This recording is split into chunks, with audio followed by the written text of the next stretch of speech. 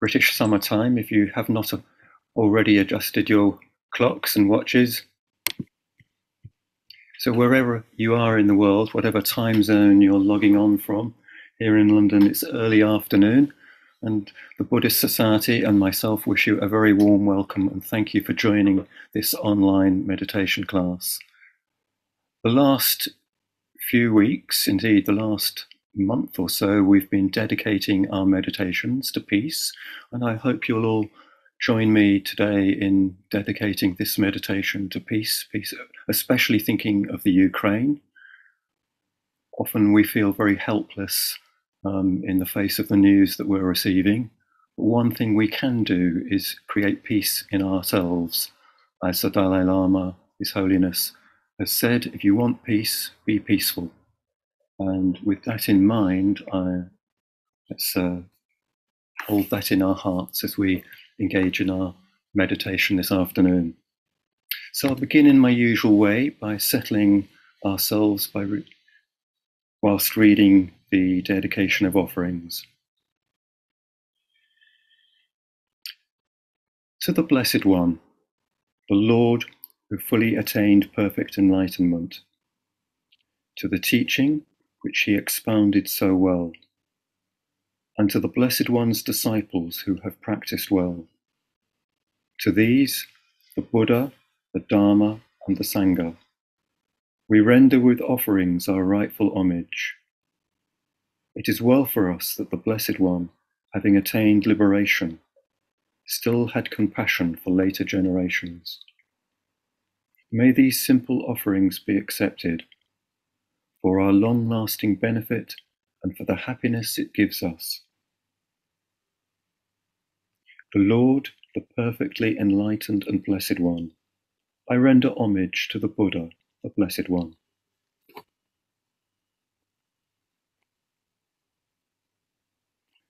The teaching, so completely explained by him, I bow to the Dharma.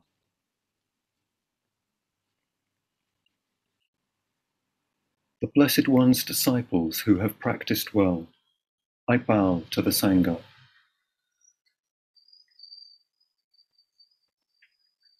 Recollection of the Buddha. A good word of the Blessed One's reputation has spread as follows He, the Blessed One, is indeed the Pure One, the perfectly enlightened One. He is impeccable in conduct and understanding the accomplished one, the knower of the worlds. He trains perfectly those who wish to be trained. He is teacher of gods and humans. He is awake and holy. The supreme praise of the Buddha. The Buddha, the truly worthy one, endowed with such excellent qualities, whose being is composed of purity transcendental wisdom and compassion, who has enlightened the wise like the sun awakening the lotus. I bow my head to that peaceful chief of conquerors, the Buddha, who is the safe, secure refuge of all beings. As the first object of recollection, I venerate him with bowed head. I am indeed the Buddha's servant. The Buddha is my Lord and guide. The Buddha is sorrow's destroyer who bestows blessings on me. To the Buddha I dedicate this body and life. And in devotion I will walk the Buddha's path of awakening. For me there is no other refuge. The Buddha is my excellent refuge. By the utterance of this truth may I grow in the Master's way. By my devotion to the Buddha and the blessings of this practice, by its power may all obstacles be overcome. Recollection of the Dharma. The Dharma is well expounded by the Blessed One, apparent here and now, timeless, encouraging investigation, leading inwards to be experienced individually by the wise. The supreme praise of the Dharma. It is excellent because it is well expounded, and it can be divided into path and fruit, practice and liberation. The Dharma holds those who uphold it from falling into delusion. I revere the excellent teaching, that which removes darkness, the Dharma, which is the supreme secure refuge of all beings, as the second object of recollection I venerate it with bowed head. I am indeed the Dharma's servant. The Dharma is my Lord and guide. The Dharma is sorrow's destroyer, and it bestows blessings on me. To the Dharma I dedicate this body and life, and in devotion I will walk this excellent way of truth. For me there is no other refuge. The Dharma is my excellent refuge. By the utterance of this truth may I grow in the Master's way. By my devotion to the Dharma and the blessings of this practice, by its power may all obstacles be overcome. Recollection of the Sangha. They are the Blessed One's disciples who have practiced well, who have practiced directly, who have practiced insightfully those who practice with integrity, that is, the four pairs, the eight kinds of noble beings, these are the Blessed One's disciples. Such ones are worthy of gifts, worthy of hospitality, worthy of offerings, worthy of respect. They give occasion for incomparable goodness to arise in the world. the supreme praise of the Sangha. Born of the Dharma, that Sangha which has practiced well, the field of the Sangha formed of eight kinds of noble beings, guided in body and mind by excellent morality and virtue. I revere that assembly of noble beings, perfected in purity. The Sangha, which is the supreme secure refuge of all beings. As the third object of recollection, I venerate it with bowed head. I am indeed the Sangha's servant. The Sangha is my Lord and guide. The Sangha is sorrow's destroyer, and it bestows blessings on me. To the Sangha I dedicate this body and life, and in devotion I will walk the well-practiced way of the Sangha. For me, there is no other refuge. The Sangha is my excellent refuge. By the utterance of this truth, may I grow in the Master's way. By my devotion to the Sangha and the blessings of this practice, by its power, may all obstacles be overcome. So I invite you now just to come to a comfortable position and join with me and the rest of this online Sangha in sitting in meditation with peace in our hearts for around 25 to 30 minutes.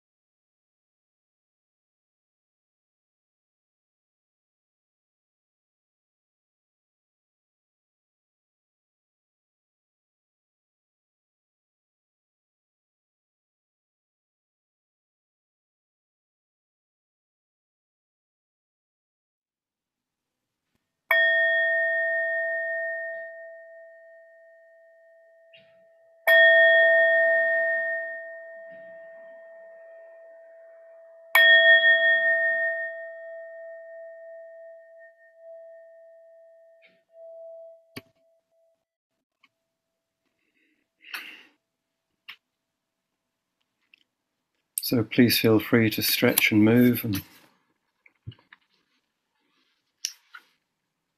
just to give you some notices from the Buddhist Society. Uh, this evening at 6.30 there's the Theravada class and the Zen class. On Thursday at 12.30 there's the Sanskrit class and then in the evening there's the Tibetan class and the basic meditation class. And this week it will be taken by Ajahn Savado. Um, so those are both at 6.30. And if you're new to meditation, this is a basic meditation class, an introduction to meditation. So that's Thursday at 6.30. Friday lunchtime at this time, there is also meditation. And I believe this week is the last week of term. So um, we reconvene on uh, Monday, the 25th of April. The Buddhist Society does open on the 19th of April, but this, the 25th, will be the, the next Monday uh, for this lunchtime session. So, thank you all very much for joining this online Sangha. I'm going to close today by reading the Buddha's words on loving kindness and then the closing homage. This is what should be done by one who is skilled in goodness and who knows the path of peace. Let them be able and upright, straightforward and gentle in speech, humble and not conceited, contented and easily satisfied, unburdened with duties and frugal in their ways peaceful and calm, and wise and skilful, not proud and demanding in nature. Let them not do the slightest thing that the wise would later reprove. Wishing, in gladness and in safety, may all beings be at ease. Whatever living beings there may be, whether they are weak or strong, omitting none. The great or the mighty, medium, short or small, the seen and the unseen, those living near and far away, those born and to be born. May all beings be at ease. Let none deceive another or despise any being in any state. Let none, through anger or ill will, wish harm upon another. Even as a mother protects with her life her child, her only child, so with a boundless heart should one cherish all living beings radiating kindness over the entire world, spreading upwards to the skies and downwards to the depths, outwards and unbounded, freed from hatred and ill will, whether standing or walking, seated or lying down, free from drowsiness, one should sustain this recollection. This is said to be the sublime abiding. By not holding to false views, the pure-hearted one, having clarity of vision, being freed from all sense desires, is not born again into this world.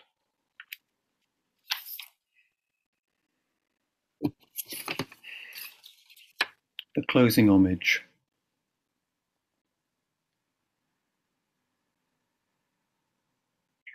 Lord, the perfectly enlightened and blessed One, I render homage to the Buddha, the Blessed One.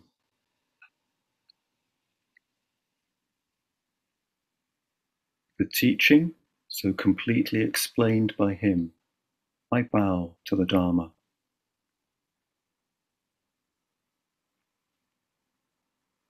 The Blessed One's disciples who have practiced well, I bow to the Sangha.